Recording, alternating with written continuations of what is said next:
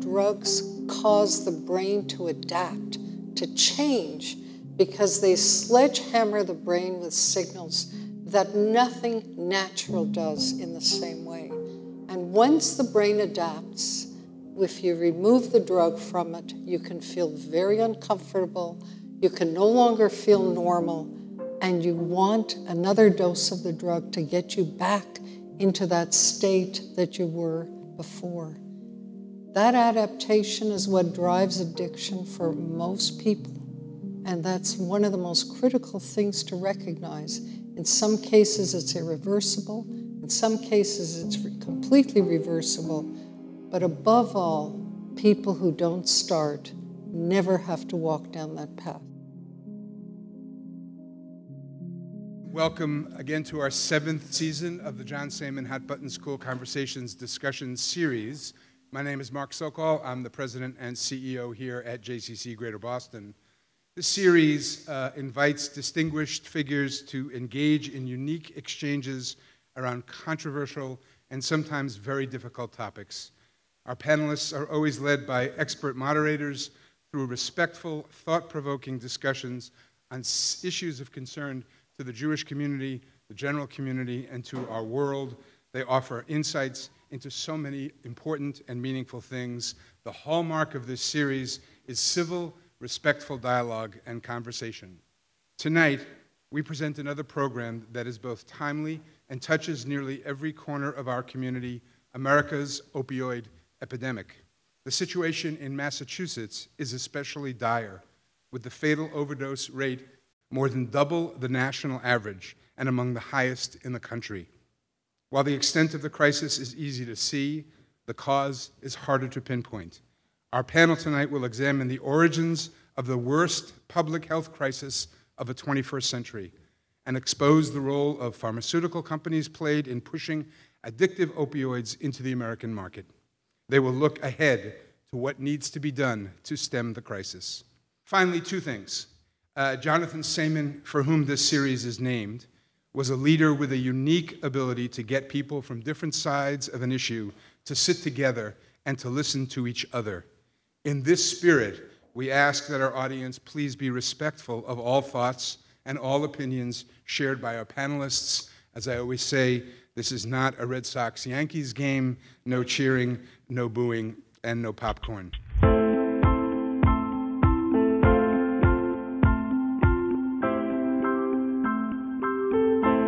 So once again, welcome to our panelists, welcome to our audience, and I'd like to turn things over to our moderator, Barry Meier. Thanks to Mark and to everyone at the JCC for making this possible, and thanks to all of you as well for coming out tonight. Uh, as a personal aside, um, I consider this evening a success already, since the last time I was at a JCC was right after I was bar mitzvahed.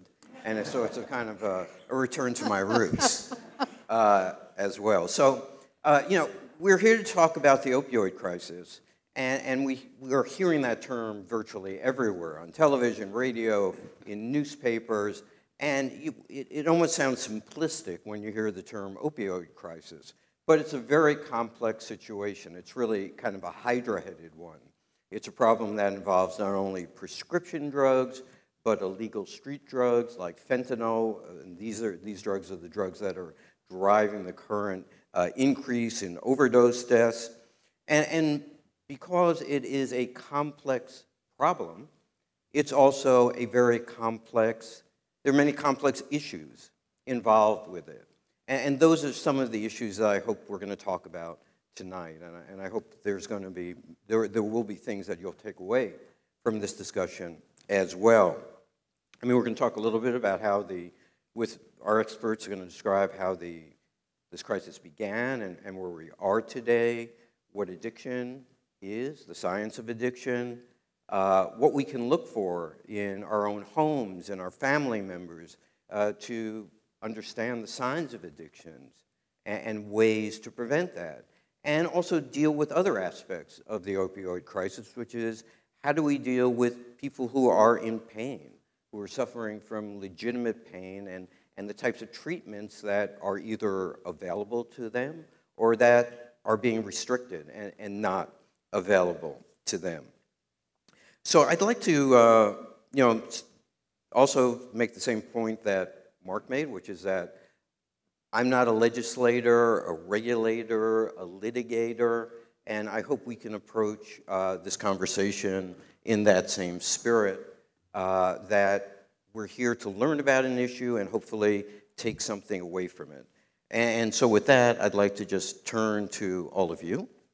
And maybe we can start with a simple question of uh, how do we get here and where are we through your own particular lens? And since uh, Rich, you were introduced first, why don't you take that on first? Oh, thank you. Uh, and thank you all uh, for, for having us. Uh, I think this is really important, particularly as a community. Um, you know, I, I became addicted to uh, heroin uh, quite young. I was around 15 years old. And, um, you know, it was new. It was just coming into, uh, you know, the Boston area out by the suburbs and Brighton and, and uh, what I call the suburbs. But, um, and we didn't know. I mean, the, the thing that I think is the same today as it was then is that nobody knew what was about to happen. Um, opiates uh, are, are, um, are, much more dangerous than people can think. Um, when, when I had taken my first uh, bag of heroin, uh, you know, that was it. It was utopia. Uh, I changed the way I felt, and uh, I never looked back. And, and it got worse, and the losses came, and the trouble came, and the incarcerations. My parents had no idea what was going on you know, but there was hope. There were people out there. There were people out there working, you know, act, making those connections, responsible connections to recovery. And, um, you know, there was a lot of slipping and sliding and falling. And, and, and Dr. Dr. Madras, maybe you can jump in here and, and talk to us about that same question, but from the perspective of a research scientist, someone who's been following this. Well, I've been following drugs since 1963 when I got my first um, collection of LSD from the CIA experiments. And I was asked to find out how they work. And the most important thing I took away from that experience, which carries me to this day, is that drugs cause the brain to adapt, to change, because they sledgehammer the brain with signals that nothing natural does in the same way. And once the brain adapts, if you remove the drug from it, you can feel very uncomfortable, you can no longer feel normal, and you want another dose of the drug to get you back into that state that you were before. That adaptation is what drives addiction for most people. And that's one of the most critical things to recognize. In some cases, it's irreversible. In some cases, it's completely reversible. But above all, people who don't start never have to walk down that path. And, and Andrew, uh, you're sort of on the front lines dealing with people who are addicted to drugs, uh, trying to help them get off of drugs. So, you know, how, in the terms of your professional work, has the picture changed over the past decade for you?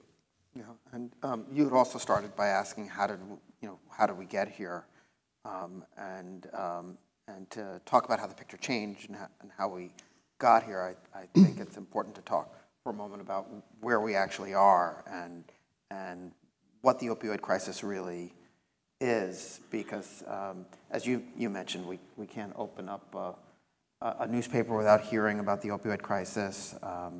It's on the radio, it's on, on television, and over and over again we're hearing about the opioid crisis, but what, what is it? And I think it's important to understand that the, the opioid crisis is not a problem of drug abuse.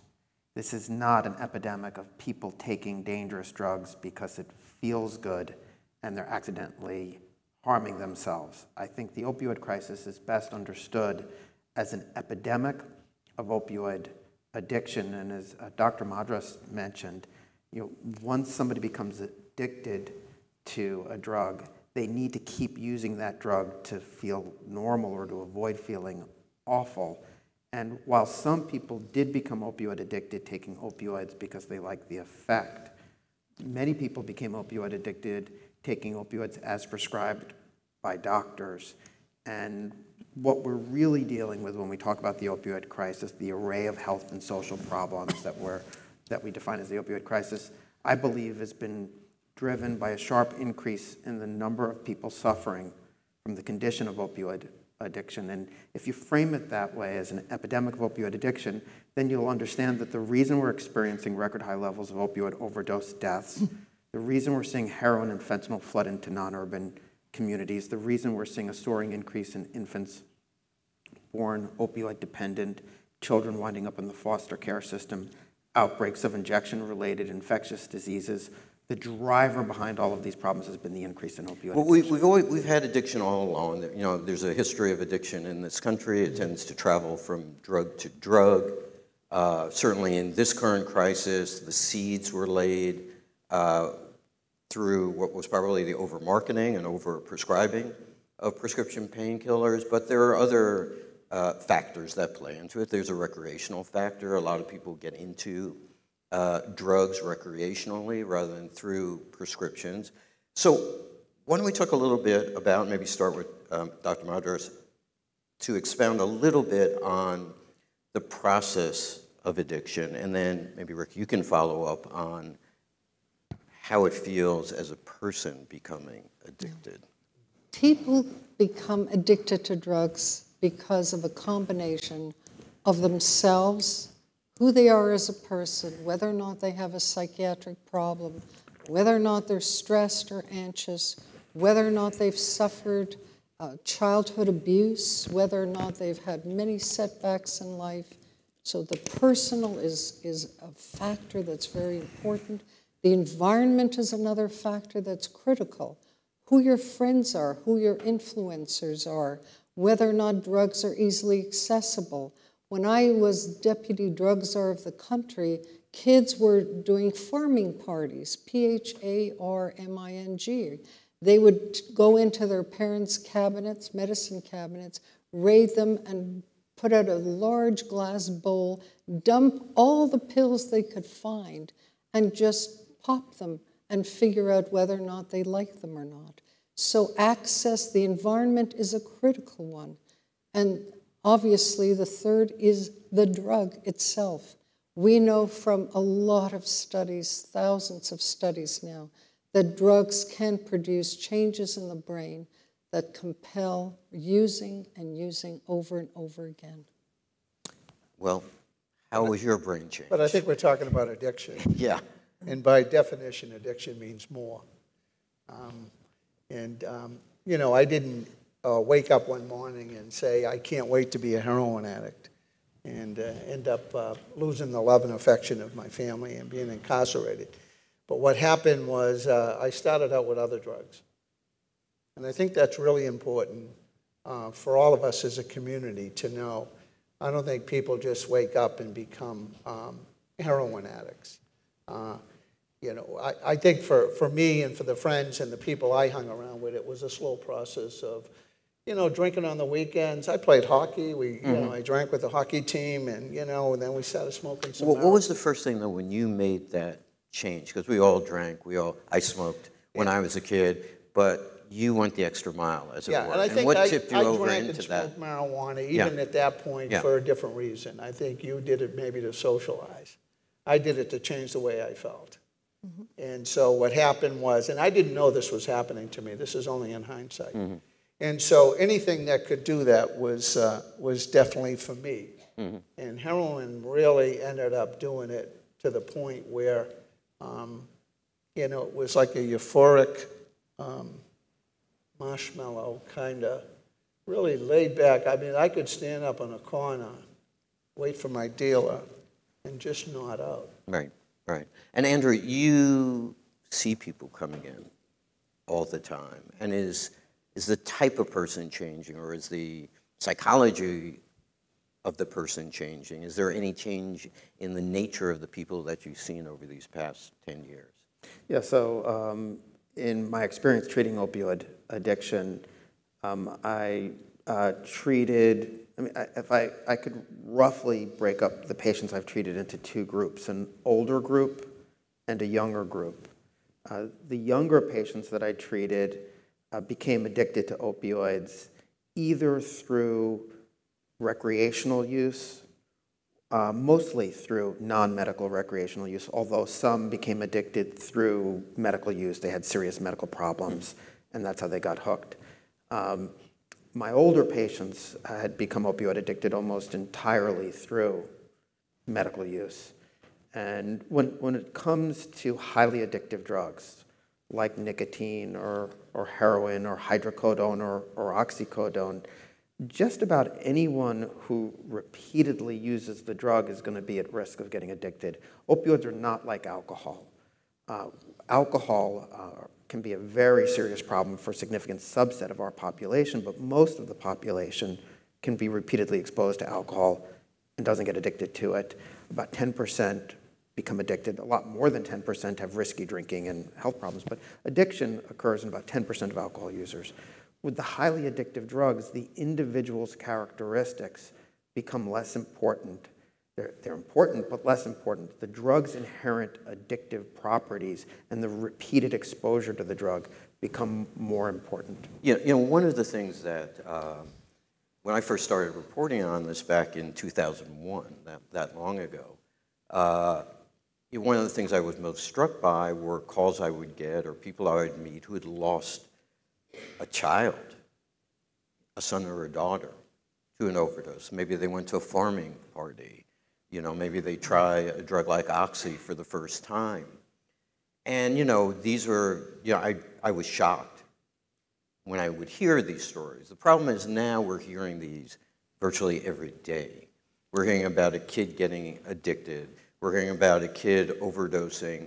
Perhaps, you know, many of the people who were, who've come here tonight have had family members uh, that have become addicted, who have overdosed.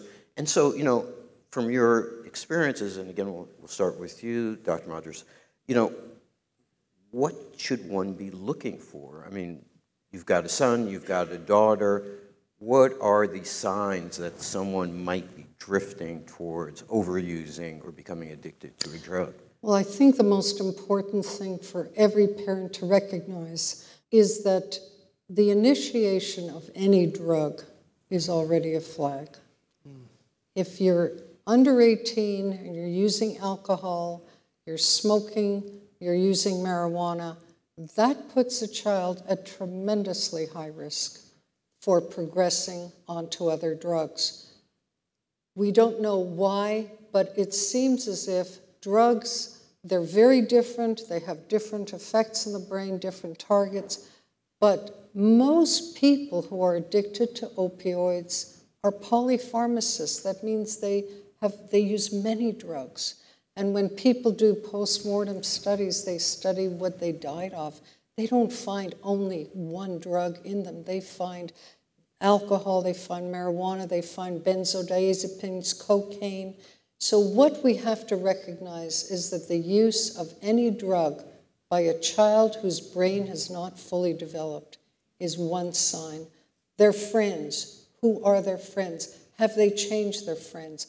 Are they becoming more secretive in the house? Do they tend to lock their doors more often, stay behind closed doors? Is the relationship with you getting different? Are they less open with you? Are they sleeping less? Are they spending a lot more time away from home? Are they on social networking sites more? There's a whole list of flags that every parent should be aware of. And, and, and Rick, you should be an expert on this, right? Well, not so on what, own, what do you yeah, my own, what do you know Does to look sound for? Yeah, it, you know, not on my own experience, but I have six children, and I have three children in recovery, responsible recovery. And um, I went through this with them, and I wasn't exempt from from those signposts, and, and I also wasn't exempt from the denial that comes with this.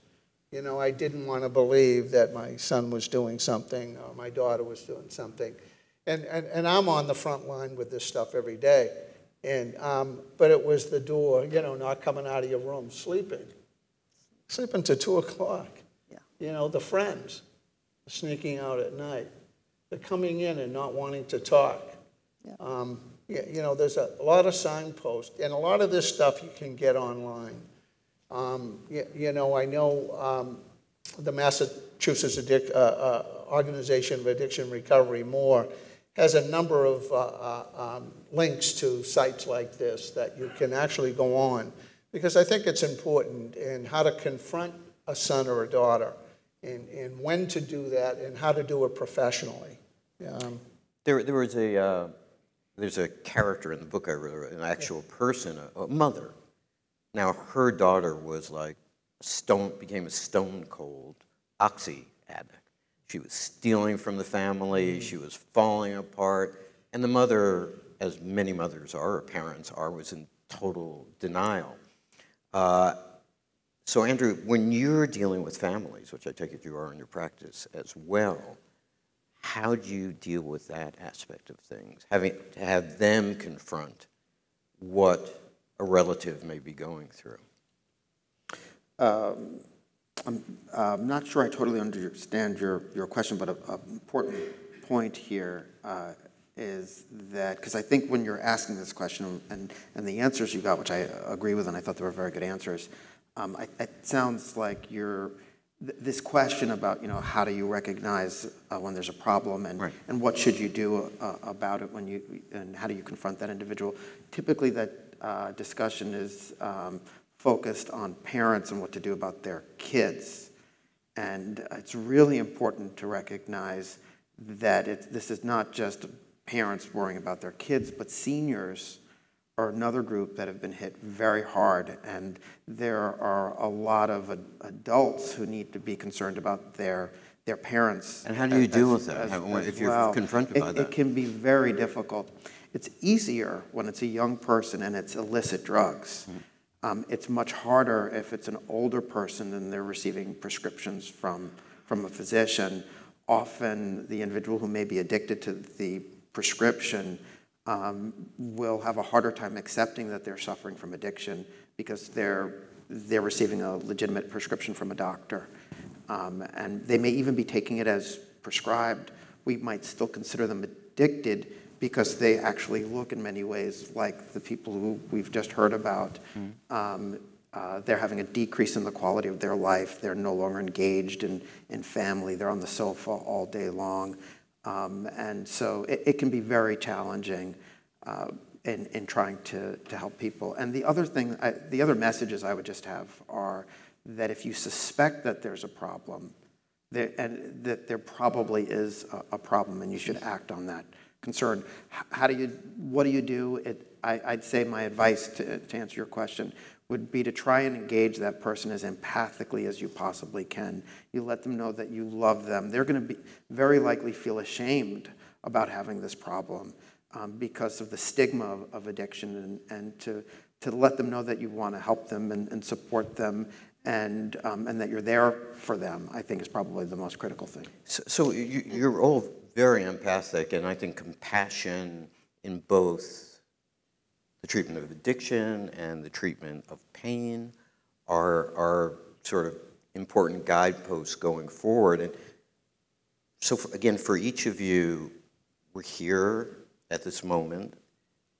We're confronted with an epidemic. What would each of you like to start see happening? How do we start working our way out of this? You mean at a national or local level? Either one, because it, I, I think it has to happen on both levels, and sometimes I think it has to happen on the local level. What does a community like this need to do? Let's not wait for Washington to act. What do people on the local level do? So there are three areas that absolutely need help in this country. One is prevention. And prevention has a many, many, many faceted solutions. One is reducing unnecessary prescriptions. One is preventing children from initiating drugs because you can never predict, no parent has a crystal ball that will predict whether or not that child is going to start with marijuana or alcohol and then progress straight mainline either to heroin or to prescription opioids or to cocaine. Prevention is critical.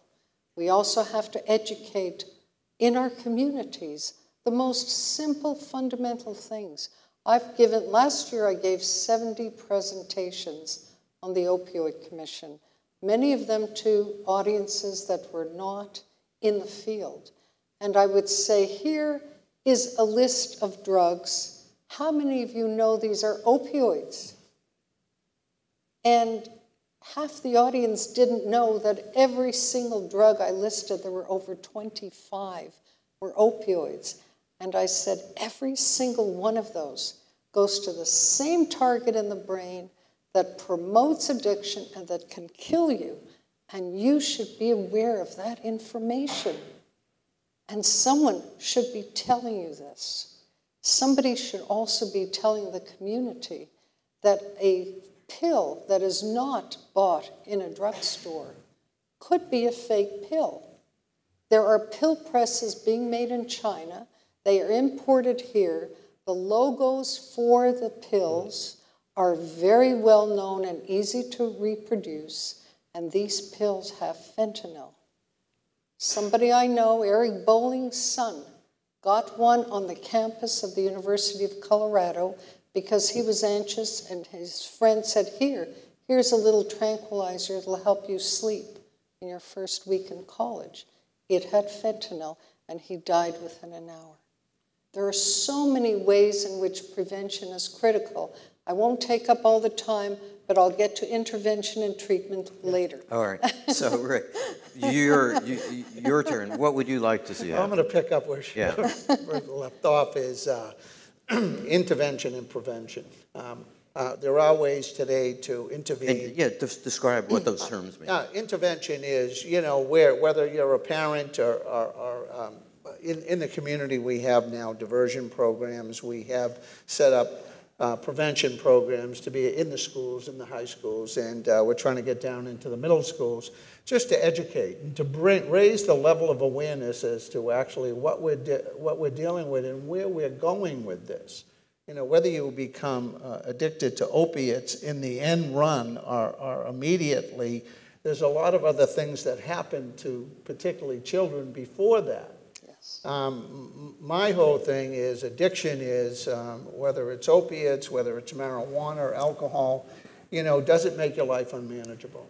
Does it take away from you the opportunity to be all you can be? And that's where interve- intervention has to come in. And you can do it on a family level, and there's plenty of people out there that do it. We have, in our recovery coaches in the law office, we, uh, they are interventionists too. And they'll educate, they'll sit with the parents before they'll intervene with the individual. And then they put a plan together to do that. And, and um, over to you. What should we do about the opioid crisis? Yeah.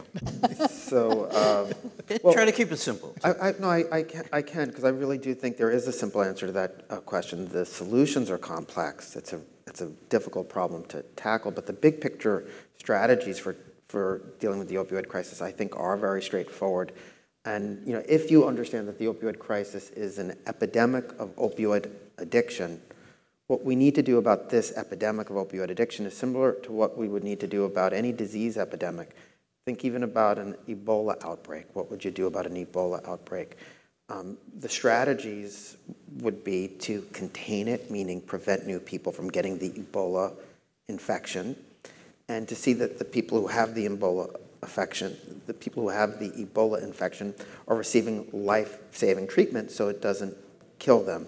What we need to do about the opioid crisis is, is really the same. We have to prevent more Americans from becoming opioid addicted, really reduce the incidence of opioid addiction. How, but how do you do that? It's so More than anything else, to re- prevent people from becoming opioid addicted, I agree with what, what's been said, but I think the single most important strategy for preventing opioid addiction is to promote much more cautious prescribing so that doctors don't directly cause addiction in our patients and so that we don't indirectly cause addiction. Well, that, that leads us into stocking. another, uh, to another area uh, that I want to touch on with all of you, and that is the treatment of pain. Uh, pain is a significant problem. Uh, there are people that suffer from severe, long-lasting pain.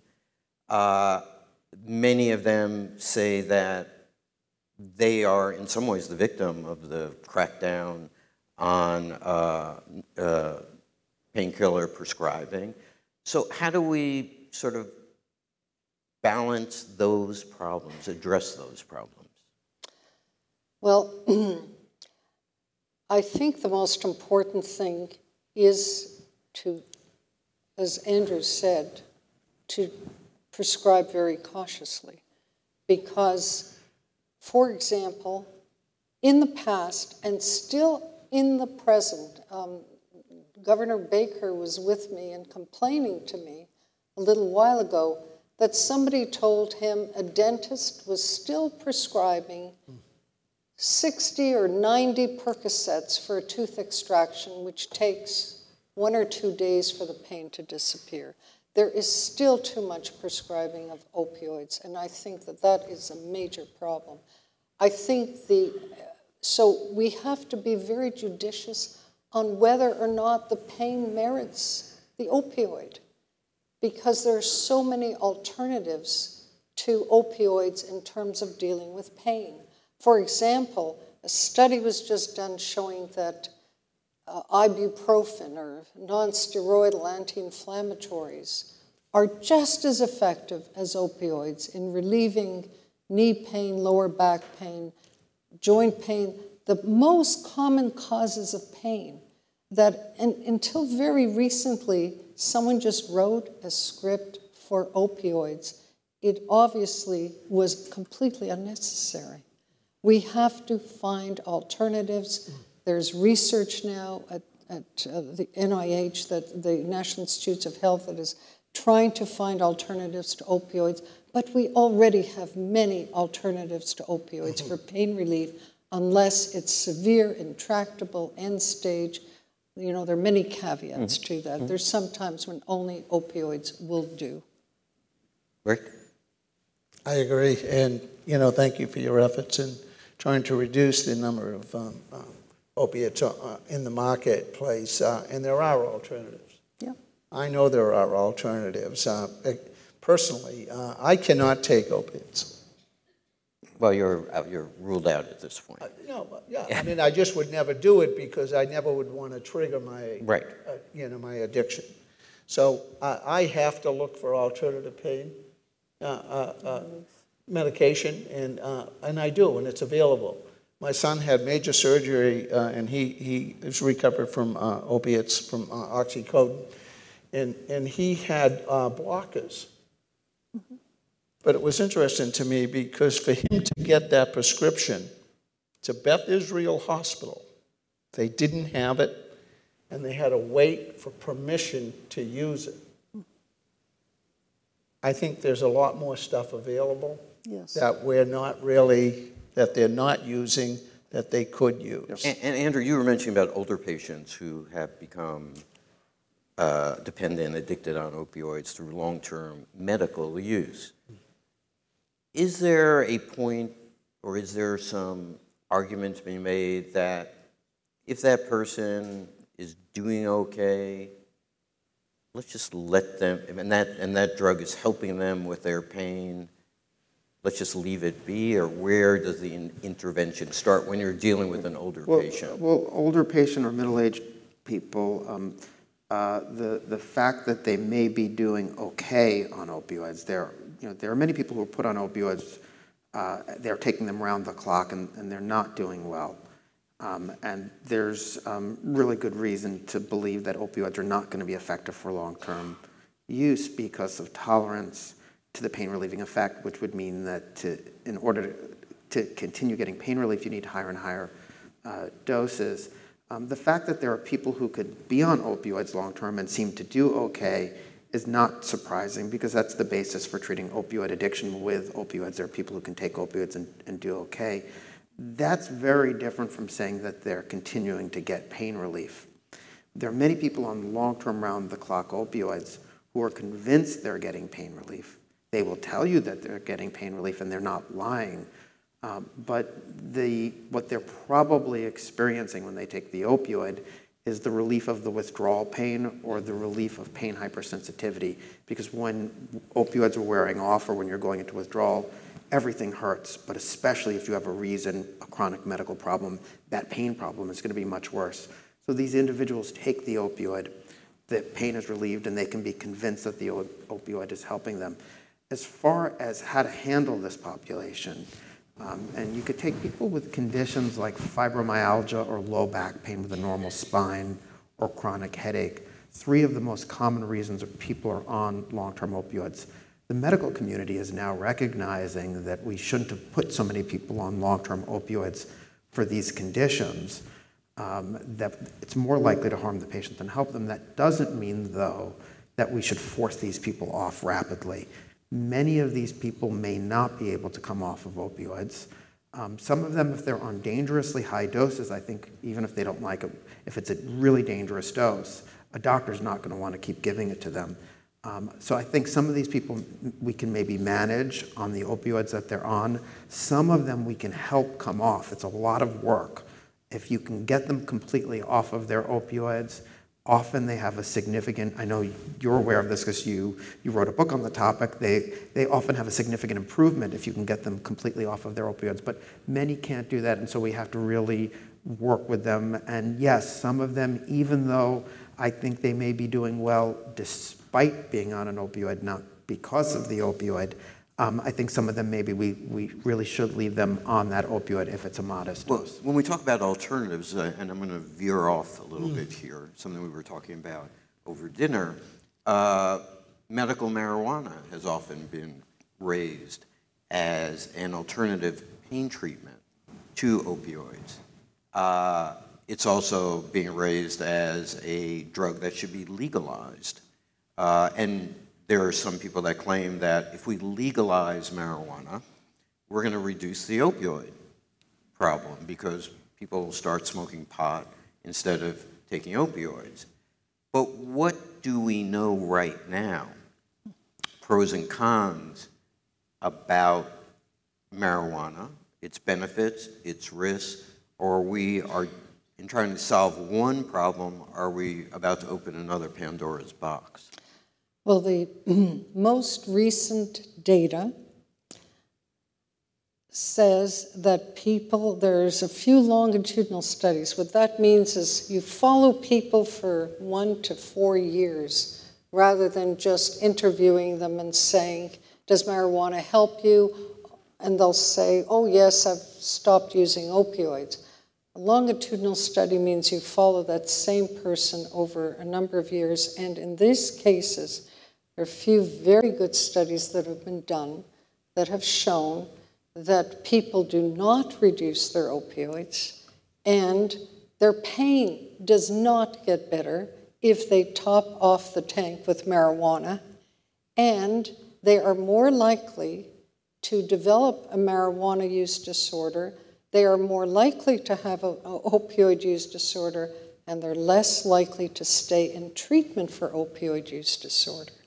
So at this point, there are, there's one study that came out a few years ago that said states where marijuana has been legalized as, as a uh, so-called medicine, those states have lower overdoses. But that is a completely, um, from the point of view of statistics and scholarly look, that is just not the way you do it. You have to follow the individual, not the state level. And since that study came out, another one came out in probably the most prestigious Science magazine saying that the states that have uh, legal marijuana, the opioid overdoses, in fact, have increased. So at this point, one has to say that the evidence is not in favor of and when you say medical marijuana, I don't know what that means. Is it 90%? Is it 10%? Is it THC? Is it Hindu Kush? Is it blue purple smoke? There is. You, you know what it means. no, I, there's no stand. I mean, this is not an approved drug. There are no randomized controlled trials. This does not come close to what FDA standards would require for putting the signature of a, of a large body of professionals in, in, in endorsing. And Rick, are you seeing sort of with a, I mean, the marijuana that's out here today is much more powerful than the marijuana I remember encountering. uh, and, and what impact is that having? Well, it, it's having a big impact. First of all, um, my question always is, um, you know, we have legalized um, tobacco, we've legalized gambling, we've legalized alcohol, uh, we've legalized pornography. Uh, how's that working out for us? I mean, um, this is just another drug in the in the treasure chest of, of things to use, abuse, and become addicted to. My wife is 15 years in recovery from marijuana. And, um, you know, her stories are no different than the stories of, you know, my son who was addicted to oxycodone, my, you know, and, and people addicted to alcohol. Addiction takes away, it robs you of the opportunity to be who you can, to be a good son, a good brother, you know, a good parent. Uh, and that's what it's really about. Whether you're addicted to marijuana or oxycodone, I mean, if it takes away from your life, this is something that needs to be prevented. And it's best prevented early on. I mean, that's what we're finding out. You know, raise your hand, tell us. Right.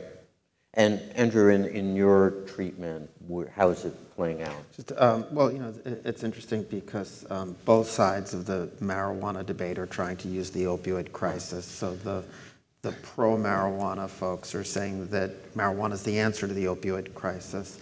And uh, folks opposed to marijuana will say, are saying that it would make the opioid crisis worse because it's a, the argument is that it would be a gateway drug and more people would wind up ultimately on, on heroin. Um, I, my own view is that um, I don't believe it would make the opioid crisis better or worse. I see it as uh, its own separate problem. Um, I have serious concerns that with an industry promoting use because of a financial incentive uh, through legalization, um, we would see, we would see, and I think there's evidence we're already seeing, a sharp increase in use. And there, you know, marijuana is less addictive than opioids, but as more people use it, you're basically creating another drug yeah, industry. More people are going to get it, uh, would get addicted to right. it, and although marijuana addiction doesn't kill people the way opioid addiction kills people, it can really mess people mm. up. So I don't see it as helping or hurting the opioid crisis. I see it as its own separate problem. One thing I would say though is if I was treating a patient with severe, chronic, intractable pain who was really suffering and had tried everything. Mm. I would sooner consider marijuana for that patient than heroin.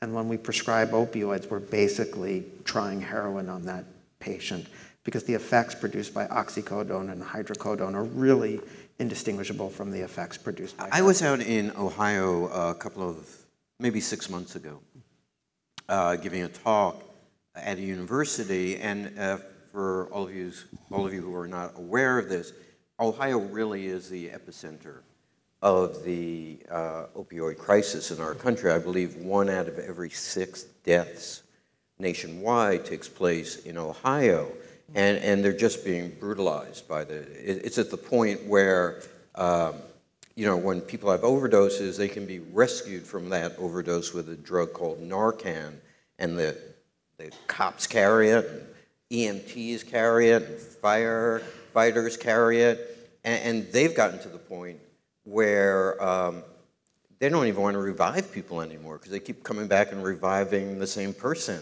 four times a week. And, and they were very interested in knowing what they could do in their community, like basic grassroots efforts that people there and people here can take.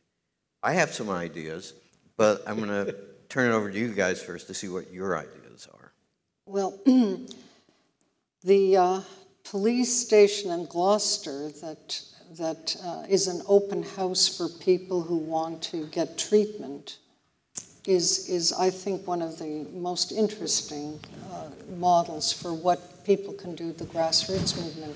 There is a, a fellow at uh, Boston University, professor, who is beginning to copy the model in about 300 places throughout the country where people go to police stations and say, I've got a problem with opioids, and can you help me?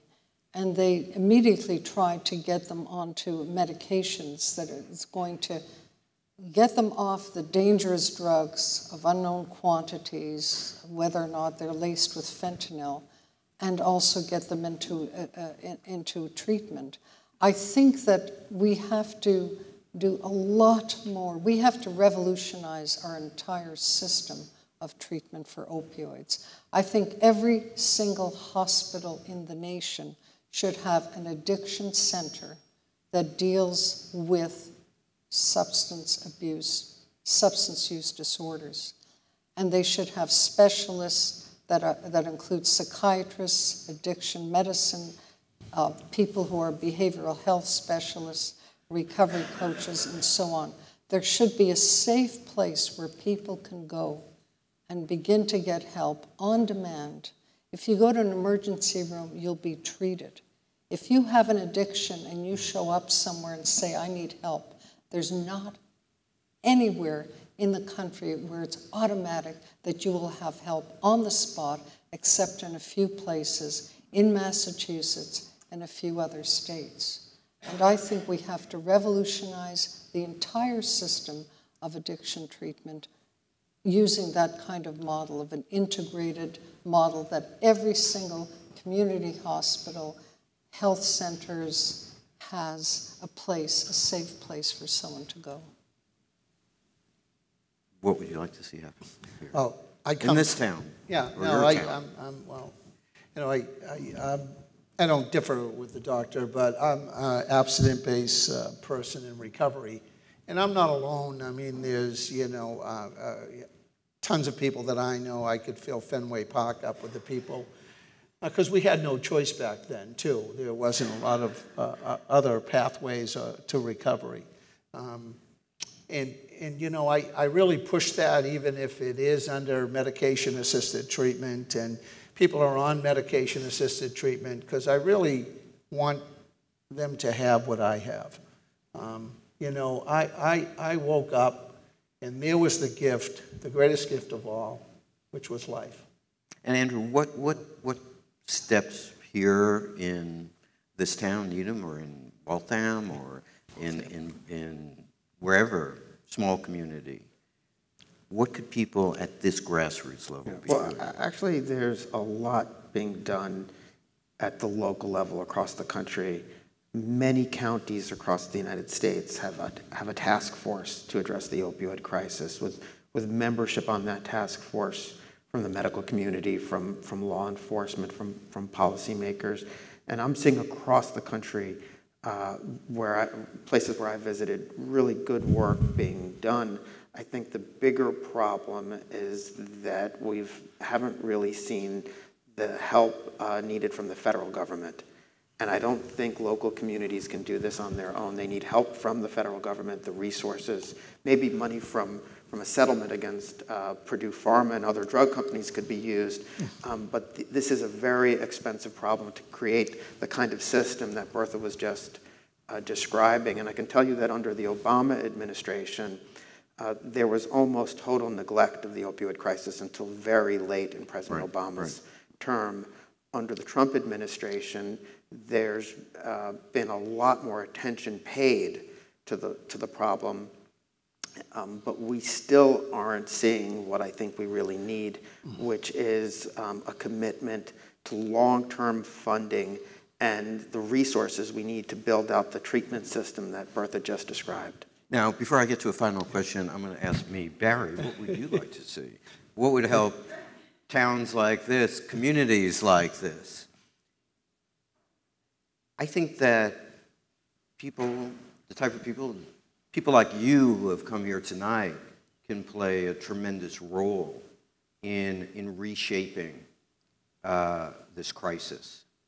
And it can be very simple. It can be from the standpoint of going to your employer, or if you are an employer, uh, making sure that the insurer, the person that's providing you or your employees with health care, provides them the best possible pain treatment, provides them an array of pain treatment, and walking away from that insurer. I mean, part of this problem was caused by the insurance industry, by their realization that they could make the biggest profits by simply just approving uh, the prescription of pain pills, not approving any kinds of other treatments for patients.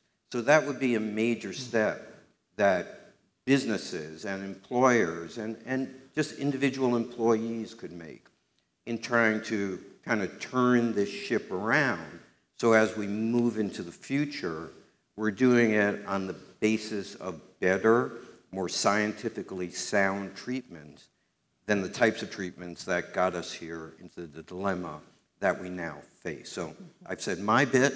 Now, we'll let you all play king or and queen for a day.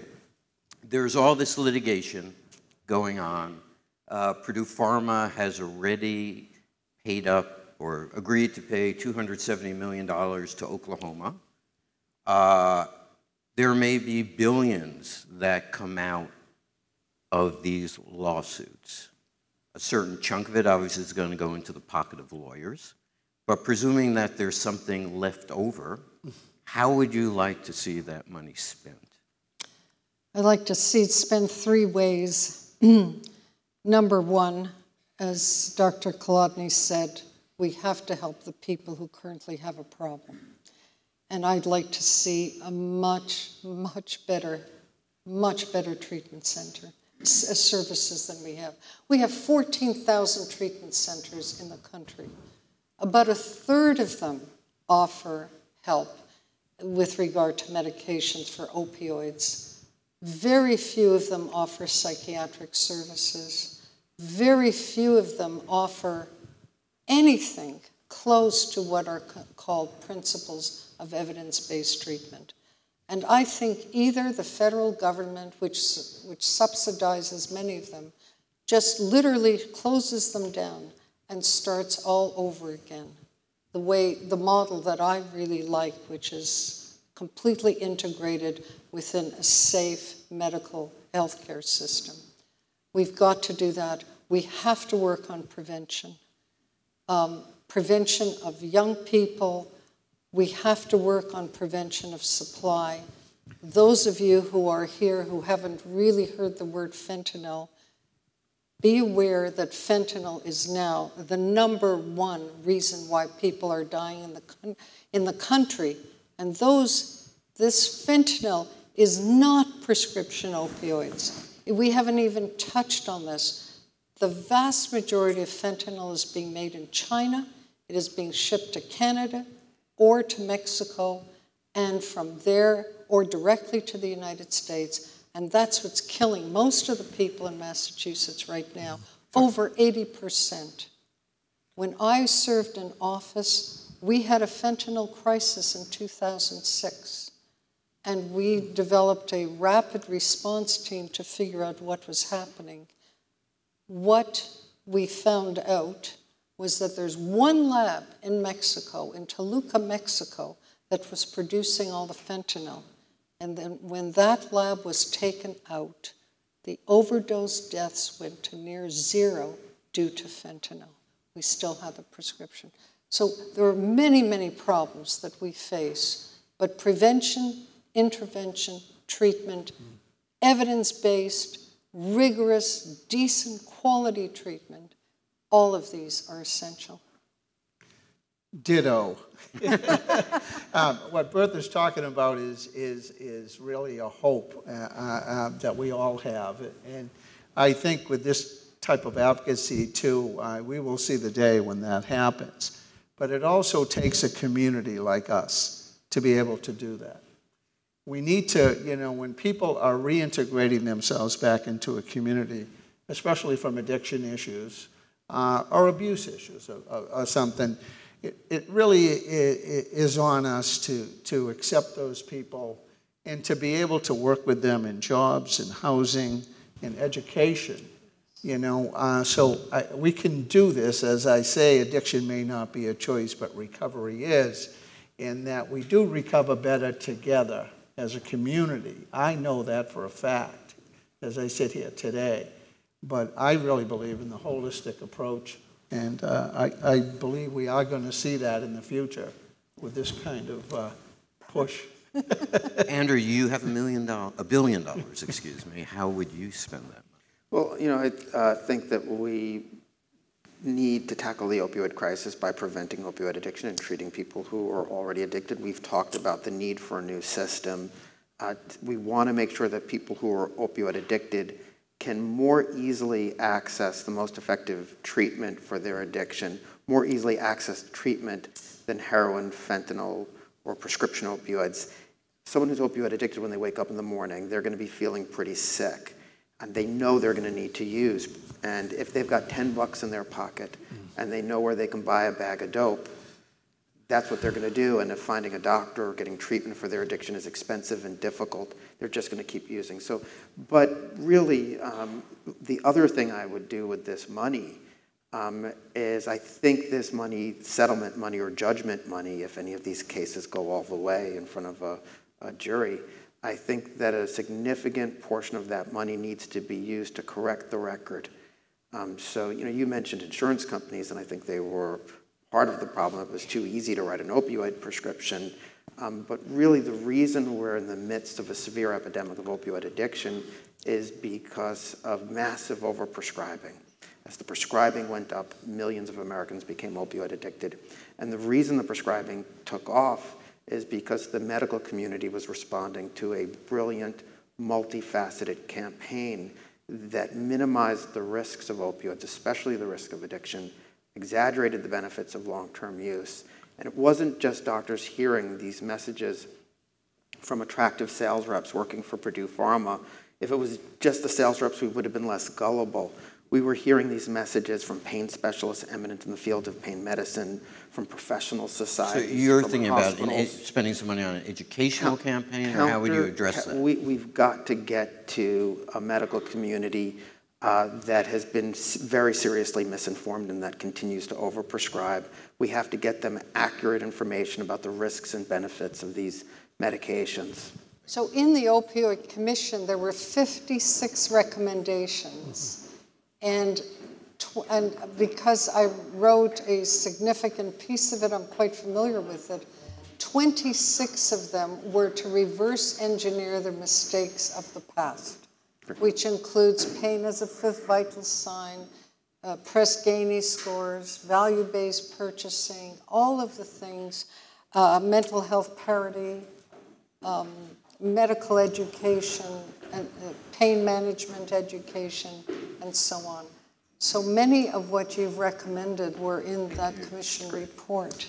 This is an interesting question uh, that I'll let you all take a crack at because it's not opioid per se, but it's about drug abuse, and it's about a story that I've read a couple of stories about, uh, which is um, there's a drug called gabapentin, and a gabapentin, I believe, is an anti-seizure medication. It's been approved for anti-seizure use, but also was prescribed off-label, if I'm correct, as a tranquilizer.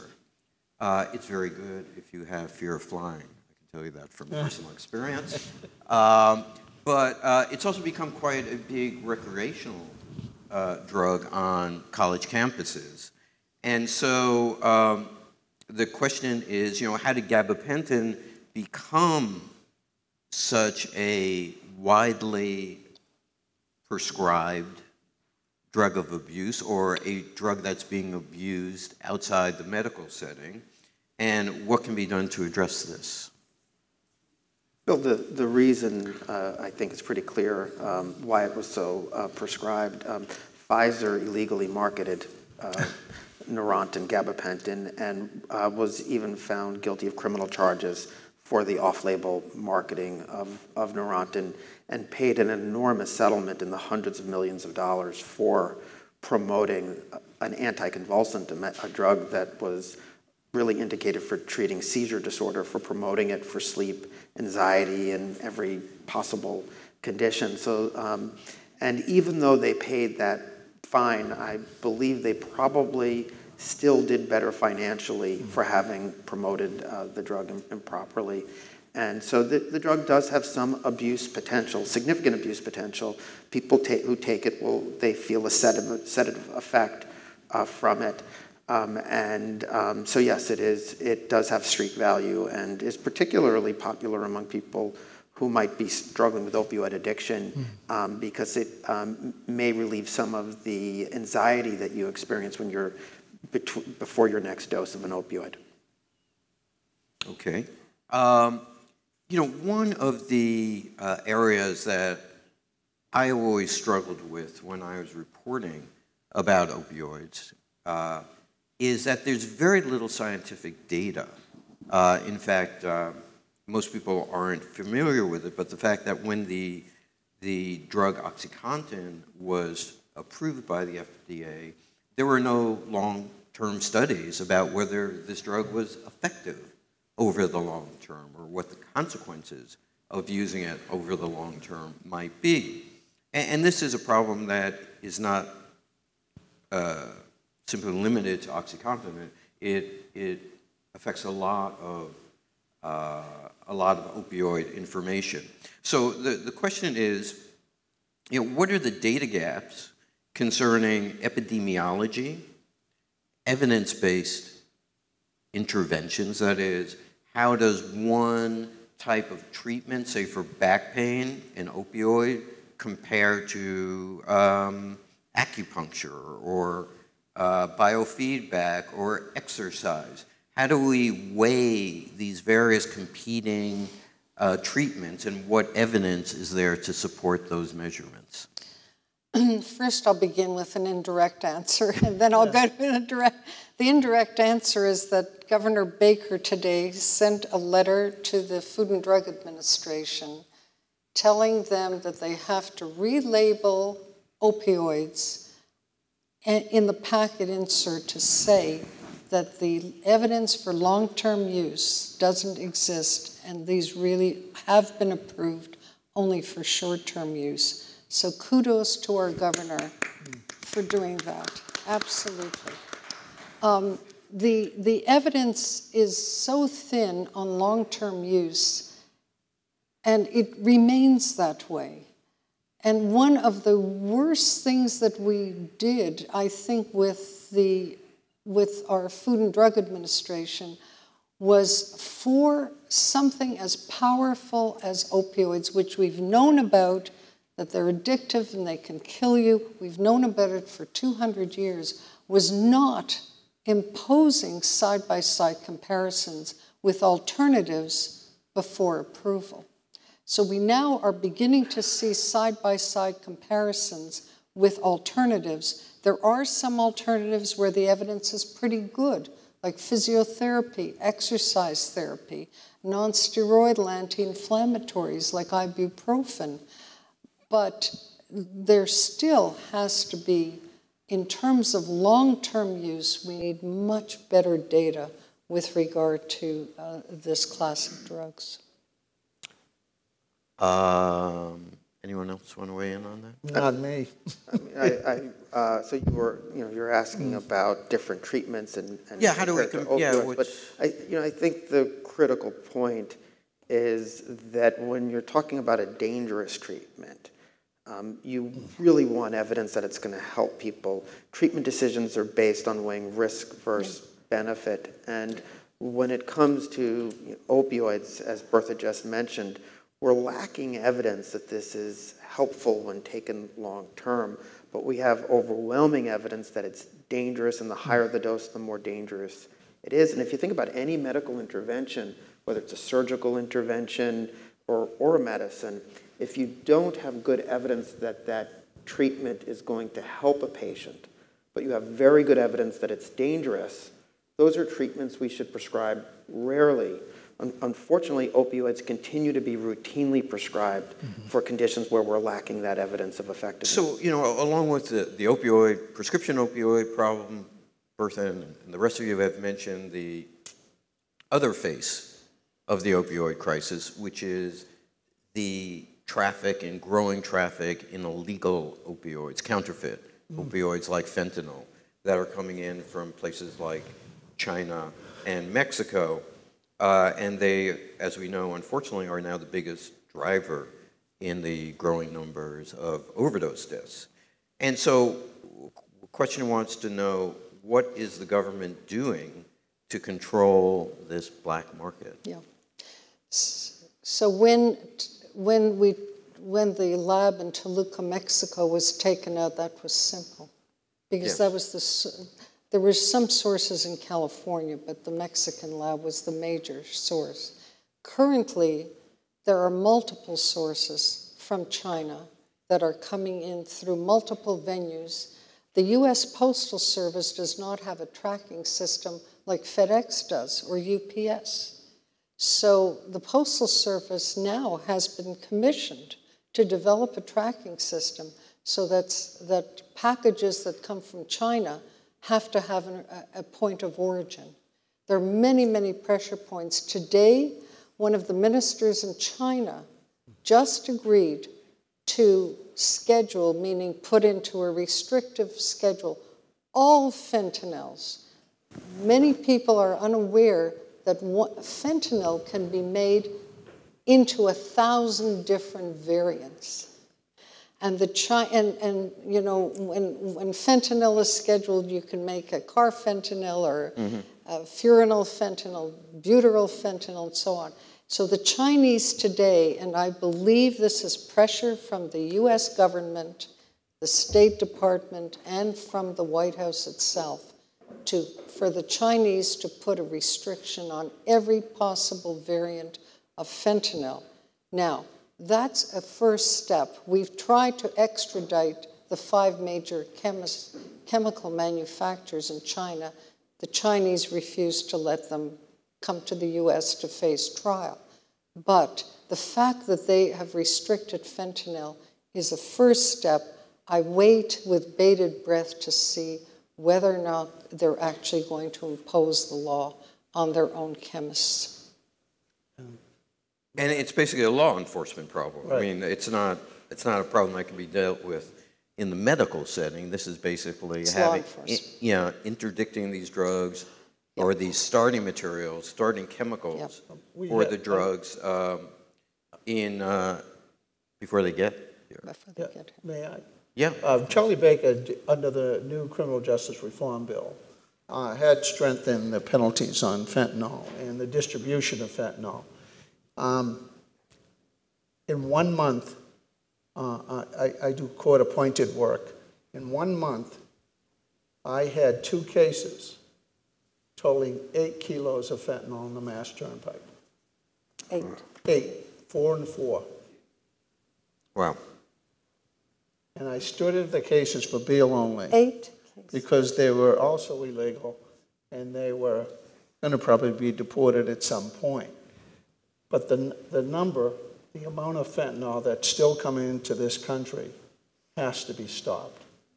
It does make a difference, as you were saying, that, you know, every time I saw, you know, one of these guys, and I have to represent him, I'm a defense lawyer, and, you know, I do it, but, you know, I, I also, my advocacy is with the street addict and the person looking to connect to recovery. And I'm looking at the, this and I'm saying, you know, this is going to kill so many people. So one kilo will kill a half a million people. So eight kilos, do the math. Yeah. Four million. A month, just in the one month that I was in that court. Yeah. So there are uh, some people who believe, and you know, there are uh, questions about an issue related to pain patients who are, you know, not being given alternative therapies. It's not available to them either. They live in places where it's not available, not accessible, uh, or they can't find doctors who provide it. You know, there, there are people out there who feel uh, that they've been abandoned, much in the way that addicts feel they've been abandoned. So, how do we address those people? How do The- we? You know, the, the, there's a problem with the way you've just framed that question. well, I don't think it's a problem the way I framed it. there, I really, you know, It's I've- a problem the way you I've- might want to answer no, it. there- there- well, I mean, I, I've been treating opioid addiction Yeah. for more than 15 years, Yeah. and I've never once met an addict. I've met people who refer to themselves as addicts, but but I've never met an addict. Um, if by addict, uh, we're talking about people who are continuing to use and don't care who they hurt because they're having so much pleasure using opioids. Um, what I've treated are people suffering from opioid addiction. Some who became addicted because they, it was pleasurable and that's how they got hooked. Some who became addicted through, through medical treatment. And when, we, when you use the term addict, um, it, to me, um, it, it's, it's not just stigmatizing because you're defining somebody with, with, with this disease, like, like calling somebody with schizophrenia schizophrenic. I think it is, I, I don't like that either. But with a, calling someone with addiction an addict, in my opinion, is even worse because I think it's very misleading. And so to, to ask your question about, well, there are the addicts who feel abandoned and the pain patients who feel abandoned is already accepting really what, what the Sacklers were trying to promote and their framework of the opioid crisis. You know, I, I, think, with all due respect, that's ridiculous. Well, let, let me finish my. Let me finish uh, my. Uh, you know, we, you, yeah. uh, you agree with yeah. me. I mean, addiction, substance abuse, and opiates is is not doesn't have a monopoly on addiction. Right. You know, people are addicted, uh, you know, by nature to obsessive compulsive behavior, whatever it is. And we don't know the answers to all of those. And those are challenges. And I understand the opiate crisis, uh, but I've never met an opiate addict that didn't use heroin, um, Suboxone, methadone, um, uh, gabapentin. Um, and I deal with these guys every day in the courthouse. And uh, it, it's an array you, you didn't meet my you didn't meet my you know I've always I've always I've always believed that people who have the disease of addiction and people who have pain need to be treated compassionately. I've always approached that as a reporter. I've always believed that as a person. I believe there I believe there's let me finish. There should be a compassionate treatment for people who struggle with substance abuse and there should be compassionate treatment for people who have pain. And the only question I'm asking is, and you cannot I, I choose to answer it if you want. I, I want to How do you question, deal with people who are not getting the pain the treatment they need? The problem with your question, and you're continuing to do this, is you're acting as if it's not possible for someone to have both addiction and pain. Many of the people I've I'm treated, not acting that way at all. The, you, you, you are. You're saying that they're the addicts and the pain patients. I'm not trying to separate You're asking that it, asking the question as if we no. have these distinct no. groups, and we no. really we we don't necessarily have distinct groups. There are many people who've become opioid addicted. Some because they took it because they liked the effect. Some because they were suffering from from chronic pain. Well, and so of course, of course, people who are who are opioid dependent whether they wound up stuck on opioids because they did it because they liked the effect, or they wound up stuck on opioids because the doctor prescribed it to them, we need to help that population. I'm, we need I'm a not gonna, I'm not going to litigate approach. this with you. I'm going to ask Bertha yeah. to answer the question in any well, way she wants in terms of like well, how to, you know, you're, I'm trying to so pose I, a question that one of the audience members is asking. I think one of the most important things we have to remember is about 90 million people in the country currently are prescribed opioids. And probably 10% of those have trouble in terms of compulsive use and so on and so forth. So the vast majority of people who are prescribed opioids for acute pain, for post surgical pain, are not in trouble. What we are worried about are the people who got the opioids either through legitimate prescriptions or through diversion, taking the 50% of the people in the country who are misusing them, take them free from friends and family or buy them. It's that population that we have to worry about. And my feeling is that that population is susceptible for a number of reasons that have to be dealt with. They are susceptible because people who have opioid use disorder, there's a much higher incidence of pain in them. They have much higher incidence of anxiety, much higher incidence of stress, much higher incidence of psychiatric comorbidity. So there is, some people get addicted I think you're a poster child because the drug literally changed your brain. But there are some people who have so many confounds, and I think that those people have to be treated with much, much more su- subtlety and much more integrated approaches to all the problems they have, rather than just pain or Right, this. right. That I think would be my answer. Good. So I thought we'd end on a kumbaya moment. uh, we didn't, but nonetheless, thank you all very much for coming tonight. Uh, I hope that it was time well spent and that you'll take something back and, and, and factor it into your lives going forward. Round of applause for our panelists. Um, I want to I want to uh, formally thank uh, all of you for giving us education and giving us information and giving us stimulating questions and issues to think about. But most of all, um, we are at a Jewish community center, and I'd like to end on the thought. Uh, and uh, Bertha, you said this to uh, to Rick when we were having dinner. You know, Yes. you put your hand on his arm and said, "Rick, you give us hope." Yes. And I think if there's a thought that I want to end on, you know, we have a, a, a country uh, that we're connected to that's over there about 6,000 miles away. It's called Israel. And when Israel was deciding what they should choose for a national anthem, they, choose, they chose something called Hatikva, which means hope. So after all we went through for 2,000 years, let's always sing about hope. So after all we went through for how many years, or how many Yes. moments tonight, Yeah. how many tough questions and conversation, we end on this notion of hope. Thank you for bringing us Mazel hope tov. this Okay. evening, and thank you all for being here.